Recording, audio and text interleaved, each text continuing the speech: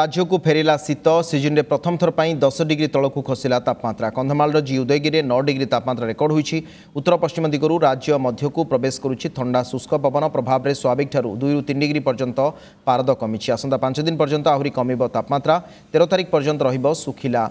ପାଗ ଏବଂ ରାଜ୍ୟରେ ପାରଦ ଖସୁଛି ଧୀରେ ଧୀରେ ଶୀତ ମଧ୍ୟ ବଢ଼ୁଛି ରାଜ୍ୟରେ ତାପମାତ୍ରା ଖସିବା ଆରମ୍ଭ ହୋଇଛି ଦେଶର ମଧ୍ୟଭାଗରେ ଏକ ଗୁରୁଚାପ ବଳୟ ସକ୍ରିୟ ହୋଇଥିବାରୁ ରାଜ୍ୟ ମଧ୍ୟକୁ ଉତ୍ତର ପଶ୍ଚିମ ତଥା ଉତ୍ତର ଦିଗରୁ ଶୁଷ୍କ ଥଣ୍ଡା ବାୟୁ ପ୍ରବାହିତ ହେଉଛି ଏଥିପାଇଁ କିଛି ସ୍ଥାନରେ ତାପମାତ୍ରା ଖସିଛି ଚଉଦ ତାରିଖ ପରେ ଶୀତ ଆହୁରି ବଢ଼ିପାରେ ବୋଲି ପାଣିପାଗ କେନ୍ଦ୍ର ଆକଳନ କରିଛି ଦୀପାବଳିରେ ପାଗ ଅନୁକୂଳ ରହିବ ବର୍ଷା ହେବାର ଆଶଙ୍କା ନାହିଁ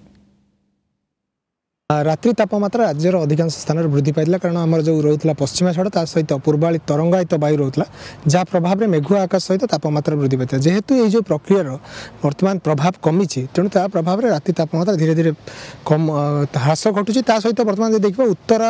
ଏବଂ ଉତ୍ତର ପଶ୍ଚିମ ଦିଗରୁ ଶୁଷ୍କ ଥଣ୍ଡା ବାୟୁ ରାଜ୍ୟ ମଧ୍ୟକୁ ପ୍ରବେଶ କରୁଛି ଯାହାର ଯେଉଁ ପ୍ରତିଫଳନ ଆଜି ଲକ୍ଷ୍ୟ କରାଯାଇଛି ପାଖାପାଖି ଆମର ଜି ଉଦୟଗିରି ଯେଉଁଟାକି କନ୍ଧମାଳ ଜିଲ୍ଲାରେ ନଅ ଡିଗ୍ରୀ ସେଲସିୟସ୍ ତାପମାତ୍ରା ରେକର୍ଡ଼ କରାଯାଇଛି ବଙ୍ଗୋପସାଗରରୁ ପୁଣି ପୁଣିଥରେ ପୂର୍ବାଳୀ ବାୟୁ ସକ୍ରିୟ ହେବାର ସମ୍ଭାବନା ଯାହା ପ୍ରଭାବରେ ପନ୍ଦର ତାରିଖ ପରଠାରୁ ରାତି ତାପମାତ୍ରାରେ ପୁଣି ବୃଦ୍ଧି ହେବାର ସମ୍ଭାବନା